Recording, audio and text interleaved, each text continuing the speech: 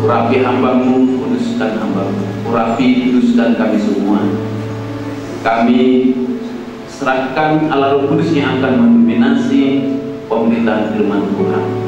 Kami sambut firman-Mu dengan ucapan syukur dalam nama Yesus kami telah berdoa semua kita yang berkati sama-sama katakan amin kita beri tepuk tangan yang terima kasih untuk tim musik tim musik yang sudah sangat memberkati kita pada malam hari ini. Luar biasa. Semua karya Tuhan dalam hidup kita dalam kehidupan kita khususnya yang ada di kampus. Kita mengakhiri semester ganjil dan mulai malam ini besok dan selanjutnya mahasiswa mahasiswi akan mengadakan instruktif ya dan magang di beberapa tempat. Luar biasa malam hari ini kita merayakan Natal bersama.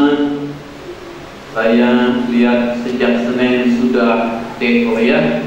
Ya sudah dekor sebelum juga uh, acara ini saya sempatkan lihat uh, general manager dari dekor bilang eh Pak nggak diizinkan masuk katanya ya koyokan ya dan manajernya saudara uh, Bang Petrus dan semua mahasiswa-mahasiswa yang bertugas di sini mulai Senin sampai hari ini saudara mereka telah menata bahwa kita ya. ya. Saya sapa semua kita yang ada dalam ruangan ini, saya sampaikan salam. Ada beberapa yang hadir dari luar saudara, yang dari Bekasi, Nah, yang dua ini saya kurang tahu dari Dan pasti ada banyak di sini saudara ya, selain mahasiswa ada jemaat uh, dan ada hamba Tuhan saudara. Ya. Dan memang agak disorot ini ya. Uh, saudara boleh bilang, I can see you, bahkan saya nggak bisa lihat kalian ya. Demikian juga saya lihat tadi yang menyaksikan perayaan kita ada puluhan orang lewat lingkung saudara saya takut juga mereka saya katakan kepada mereka juga dengan dapat shalom saya bersyukur kepada Tuhan dan berterima kasih kalau kita semua lewat panitia memberi kepercayaan kepada saya untuk menyampaikan firman Tuhan dengan tema saudara boleh kita baca lagi bersama-sama satu dua ya. Maka pulanglah mereka ke negerinya melalui jalan lain. Tema ini saudara adalah dihasilkan secara nasional oleh Persekutuan Gereja di Indonesia, dulunya Dewan Gereja di Indonesia. Tapi supaya jangan sama dengan DPR, saudara dibuat jadi persekutuan. PGY, saudara, adalah manifestasi atau presentasi dari semua gereja-gereja protestan. Pentekostal adalah gereja protestan yang beraliran Pentakosta. Bersama dengan konferensi wali gereja saudara yang adalah presentasi dari gereja Katolik di seluruh Indonesia. Dari uraian yang saya lihat uh, saudara penjelasan uh, di internet atau di Google saudara dikatakan tujuan tema Natal tahun 2022 ini adalah untuk saudara saya ulangi yang mengandung makna saudara bahwa keanekaragaman merupakan anugerah Allah yang harus disyukuri dirawat dan dikembangkan. Diharapkan selama perayaan Natal sampai tahun baru semua saudara berlangsung dengan baik di seluruh wilayah Nusantara damai sejahtera. Sebabnya di mana pun kita berada saudara biarlah kesadaran di mana kita saudara adalah beraneka ragam saudara tetapi kita saudara ada dalam kebersamaan. Keberagaman ini dimaknai dalam semangat Bhinneka Tunggal Ika yang menjadi semboyan negara kesatuan Republik Indonesia. Kita berbeda-beda, tapi kita satu adanya. Saudara yang kekasih, minimal satu ayat dua orang teman saya sebenarnya mereka bingung juga ya.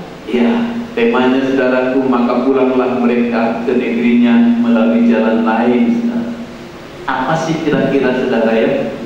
Saudara kalau tadi kita melihat dari kacamata secara nasional dan kita juga adalah bagian yang merindukan uh, politik saudara stabil, kondisif dan sebagainya.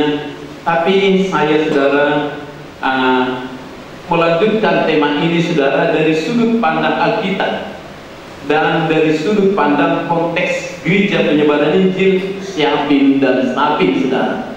Di mana saudara kekasih uh, berbicara tentang GT dan siapin dan sapin tidak bisa lepas dari founder kita atau pendiri kita yang adalah Om Sebelumnya saya mengajak kita membaca beberapa ayat dari Matius pasal 2 saudara dari Matius pasal 2 nah, ini adalah kisah orang-orang majus yang datang dari timur. Semua kita tahu ya?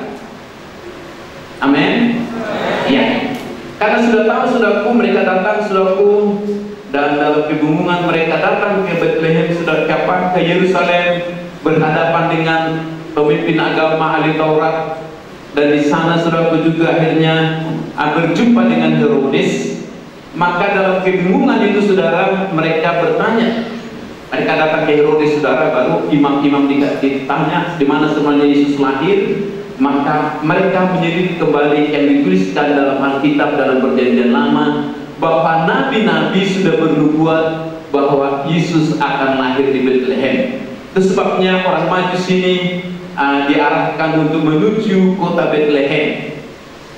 Tapi sebelum mereka memasuki Bethlehem, saudara, Raja Herodes berkata di Matius pasal 28, Kemudian ia menyuruh mereka ke Bethlehem, katanya, pergi dan selidikilah dengan seksama hal-hal mengenai anak itu dan segera sesudah kamu menemukan dia, kabarkanlah kepadaku supaya aku pun datang menyembah dia.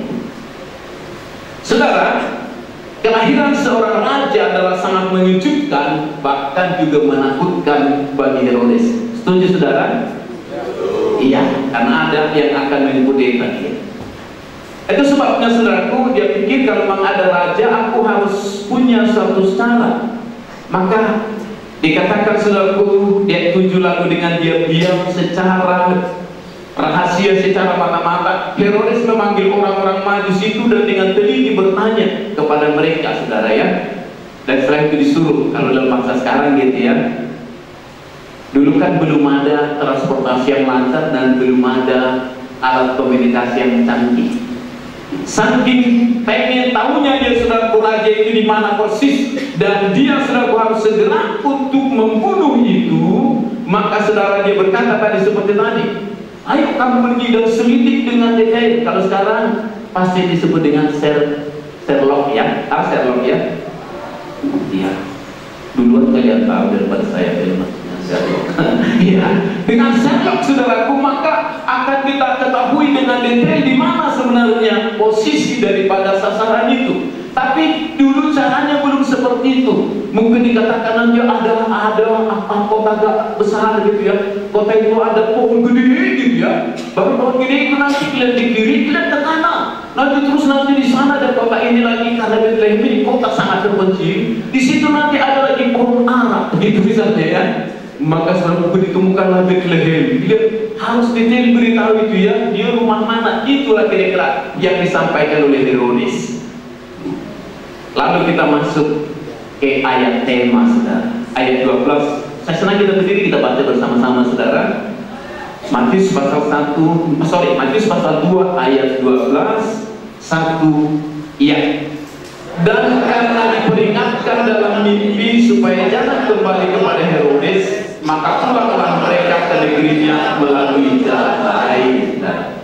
Jadi maka pulanglah mereka ke negerinya melalui jalan lain. Silakan duduk saudara. Kalau ada kata maka saudara, maka ada pasti kata penyebabnya saudara. Maka kenyanglah mereka gitu ya. Ya, karena ada yang masakan enak dan makan maka kenyang. Maka maka atau mereka sudah pulang dari jalan lain ada sesuatu yang menyebabkan Penyebabnya itu jauh lebih penting saudaraku daripada mereka pulang dari jalan lain. Karena mustahil mereka pulang dari jalan lain kalau tidak ada penyebab, ada sesuatu pewahyuan yang dikatakan di sini dan karena diperingatkan dalam dalam mimpi. Ya. Jadi malam hari ini kita akan banyak bicara tentang mimpi ya. Bicara tentang apa?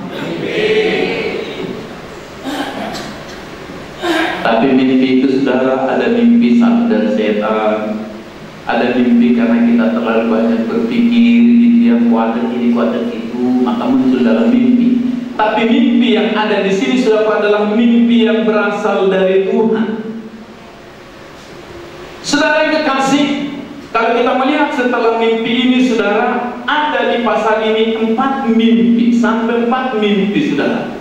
Ayat 13 orang-orang majus itu berangkat nampaklah malaikat Tuhan kepada Yesus dalam mimpi dan berkata bangunlah ambillah anak-anak itu serta ibunya dan larilah. Saudara kau dikatakan larilah ke Mesir dan tinggallah di sana sampai aku berfirman kepadamu. Karena Herodes apa saudara akan mencari tadi sudah ditanya ayo kalian Sherlock ya katanya kepada orang majus akan mencari anak itu untuk untuk membunuh dia. Kalau ayat 19 saya dikatakan setelah Herodes mati, nampaklah malaikat Tuhan kepada Yusuf dalam mimpi lagi saudara ya. Yang yang keempat saudara dikatakan di ayat 22 saudara. Tetapi setelah didengarnya bahwa Archelaus menjadi raja di Yudea menggantikan Herodes ayahnya, dia takut ke sana karena dinasihati dalam dalam mimpi. Saudara yang dikasih Om Tan dibukakan Tuhan kisah pasal 2 ayat 17 saudara Kisah pasal 2 ayat 17 Dikatakan bahwa Kudus yang akan dicurahkan kepada manusia itu akan berdampak kepada tiga hal saudara di sini dikatakan ayat 17 kisah pasal 2 akan terjadi pada hari-hari terakhir. Demikianlah firman Allah bahwa aku akan mencurahkan rohku ke atas semua manusia. Maka anak-anakmu laki-laki dan perempuan akan apa saudara?